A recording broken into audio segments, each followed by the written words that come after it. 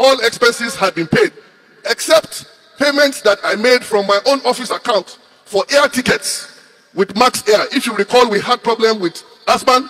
We had to move to Max. I paid from my office 6.5 or 6 million naira for air tickets.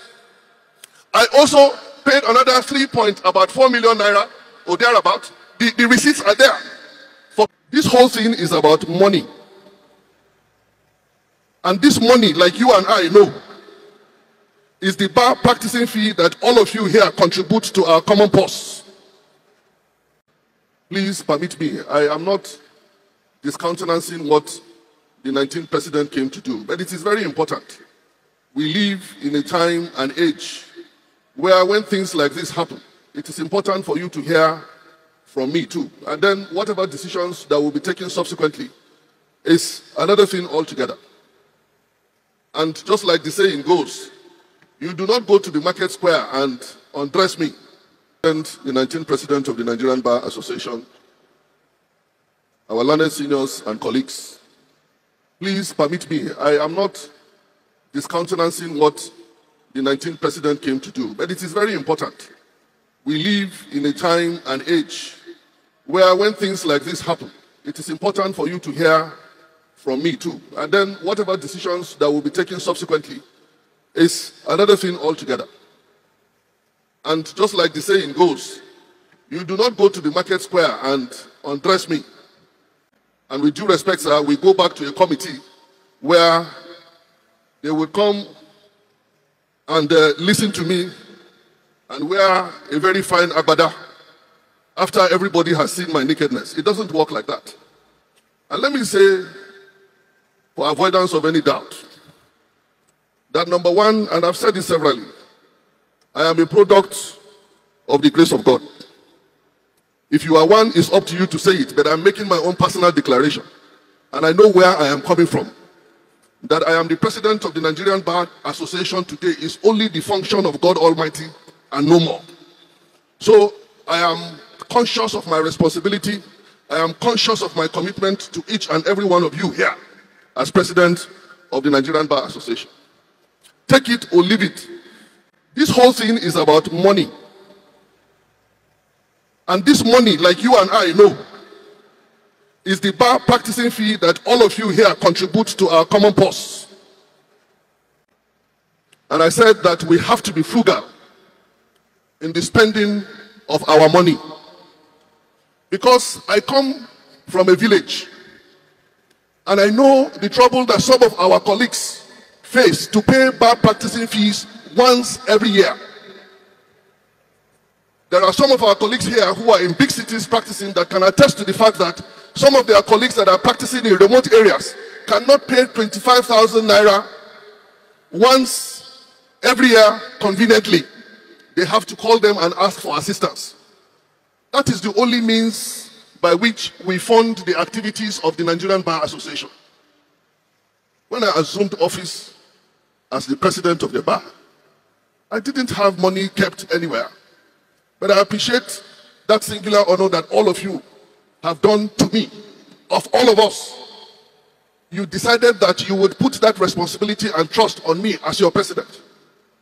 God Almighty is my witness. You can check my accounts. I, I don't have money kept anywhere by which I am running myself in this office. But one thing I am confident there is nothing that I have ever required, ever needed that God has not supplied for me. So I took on the responsibility. I took on the responsibility to call for our retreat of the national officers. At the risk of sounding immodest, I don't like saying this, but because we are in a situation where I have to say it, I funded that retreat a hundred percent. I paid all their tickets. I paid their per diem for the number of days they stayed. They stayed. We had we were already sworn in. We could have resorted to the funds of the Nigerian Bar Association. I paid all for those that traveled. I paid their tickets. For the resource persons, I paid their tickets. For for their hotel accommodations, I paid. For our feeding during that period, I paid every single dime. For us to have an opportunity to interact very closely so that we can have the necessary bonding to be able to serve you better. That is because I appreciate where I'm coming from and I know the difficulties that most of us face to pay back fee. Go and check the records. When I travel, when I travel with my aides, Laura Alakija, China Cherem Waubani, Obasi, Umwabweze, Augustine Eze, I pay for their fare. The Nigerian Bar Association has never paid for their travel fares, even when they go to serve you with me. Never. Even the director of protocols, Kazim, Kazim Nasir, who works for the Nigerian Bar Association, he can attest to the fact that we have traveled and I pay for his travel tickets. I've never stayed in any hotel anywhere doing the job of the Nigerian Bar Association using your funds. Is it out of abundance? No. But I must show appreciation to you. I am the only person who can stand out today and I introduce myself as the president of the Nigerian Bar Association. No one else can. Even that gentleman, uh, Wale Fabonda, that tries to. You cannot say so. And I go to places I am accorded respect by reason of the privilege that you have given to me to serve. How much could I have paid you to do that? So, the straw that broke the camel's back was in January this year. And I will tell my colleagues, you are the treasurer. You are the only person who can announce yourself as the treasurer. You are the first vice, you are the second vice, you are the third vice. Of all of us, none of you, no matter how unhappy you are with us, you can't go out and say you are any of us. That is a privilege for which we can't pay. That has been my message to all of us, and they can attest to it. And I said, let us use this opportunity to serve the association. That will be our seed. The NBA is a good ground. Let us commit our time and our resources to serve our members that have done us the honor to serve them. And our own harvest shall come in the future. Don't come here with the mentality of targeting bar practicing fee. If that is your target, I will not allow you to spend it. And so, in January this year, we convened a national dialogue. It was on the 30th of January. We paid for the fares of national officers coming out of Abuja to come for the national dialogue. We had a press briefing on the 31st. So everybody was supposed to go back on the 1st. This is not, if you're elected national officer, you don't leave off the association. Go and do your work. When you are needed, you come and serve the association voluntary non-fit injury, you are the one that signed on. So don't complain that you don't have time for your work. And some of the national officers, including the third vice, stayed here for two weeks in hotel, paid from your bar practicing fee, fed by your bar practicing fee, and also giving per day 30,000 naira every day for the period that she stayed behind and wanted me to pay. I said, I will not pay. I will not pay. This issue came up at our NEC in Kebbi. The memo is there. The memo is there. What explanation do you have to stay after the press briefing on the 31st until about the 14th of February? What did I see in the explanatory note? Meeting with the president on the 1st. On the 6th, the president's birthday. I said, Me? Yes, that is my birthday. So you, you are staying to do my birthday on NBA? I said, no. Do I even sometimes remember when my birthday is? And I met with the president. It's a lie. We didn't have any meeting. You simply will walk into my office and say, Mr. President, do you have any work for me? I say, I don't have. Oh, you are still here? I am here. I had already warned them the previous year that please, when you come, if we have anything on a particular day, take the first flight, come that day, you spend that night, the following day we finish, you take the last flight and go. But she stayed two weeks. She wasn't alone. And I looked at it and I said, I will not pay. Because it's your money. It's our own commonwealth. It's our own commonwealth. I will not spend that money like that. You cannot tell me what would you have said if you had seen it in the statement of account that a third vice stayed two weeks to attend my birthday. What would you say of me? And then, talking about section 9.5, the third vice president sent me a message that she wants to go on a familiarization tour of the zone assigned to her, which is the West. I later discovered that, as at the time that message was sent to me, she had gone, already gone on the familiarization tour, carrying five people from her office to accompany her as third vice president. And you are to pay. Familiarization? Is that what section 9, subsection 5 says? That you want to go to familiarize yourself with the zone that you are sent to, to work? When you went around campaigning, did you not familiarize, familiarize yourself enough? You now want to use NBA money to carry your own colleagues, feed them, transport them, house them, and you say we should also give them stipends for accompanying you third vice president to go on a familiarization tour. The memo is in the office. The details are clearly stated there. If you want, you can come to the office. You are a member of the house. We will divulge that information to you. I refuse to pay. That bill came to about two point something million naira. Your own money. I said I will not pay. I said I will not pay. And the same thing with any other person. And then, you know, sometimes I, I, I talk about the Holy Spirit and my colleagues. Yesterday I called China Cherem. I said, I have a very strong feeling that I may have to respond to this issue with the second vice president. That I've not been giving him assignment. You know, the Nigerian Bar Association is bigger than all of us. Honestly, I would have kept quiet. I would have walked away, giving you the impression that I'm a bad person. But because of the Nigerian Bar Association, I will not bother because it's bigger than all of us. And I'm the only person who is president today who must bring accountability from the point of view of a president, not second president, vice president. If that is what I wanted to contest for, I would have waited until the time when I'm eligible to contest for second vice president. And the second vice president is not the president. Is not the president. The third vice president is not the president. As, as the risk of sounding immodest, the constitution tells you who you are and what you can do.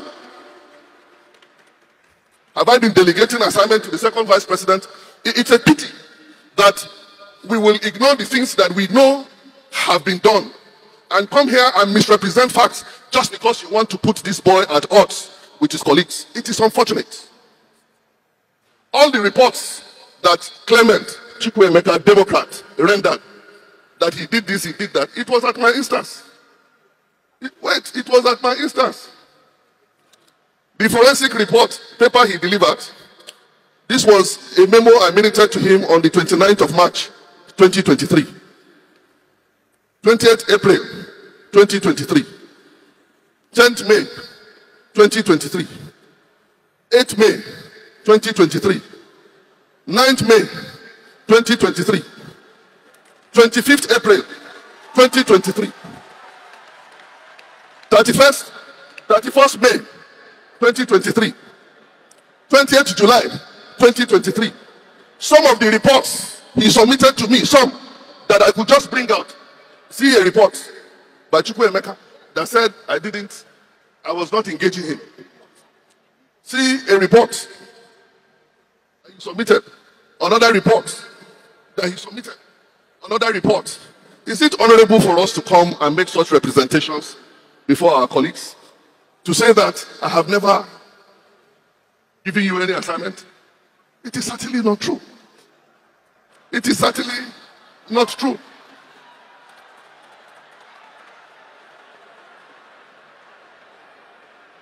It is not true.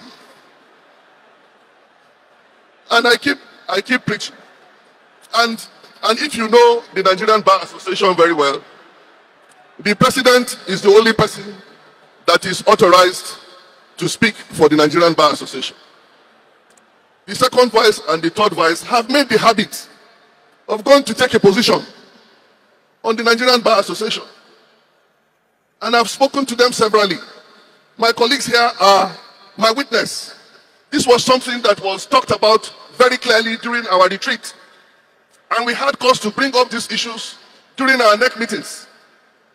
And our colleagues will bear me witness how we will still draw their attention to the fact that, look, what you did was wrong.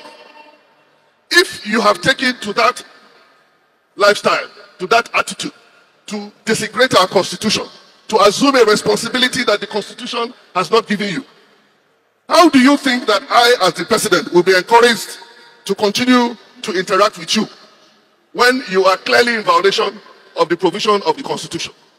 Colleagues, I came with the idea that let us all go out and look for money for the association. Of course, within the ambit of what we were allowed to do. In, in March this year, I got Kebbi State to sponsor NEC. Attorney General said he would sponsor, and I got support from the Kebbi State government. They paid all our fees. After, yes, they paid everything, 100%.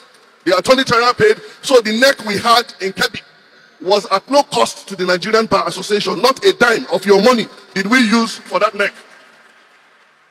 The records are there. After NEC, I received an additional 50 million naira. None of them knew. But my God Almighty knew that I got 50 million naira for the purposes of NEC. A friend to the Attorney General, whom the Attorney General had told that he should come and support us, came through after NEC. All expenses had been paid, except payments that I made from my own office account for air tickets with Max Air. If you recall, we had problem with Azman. We had to move to Max.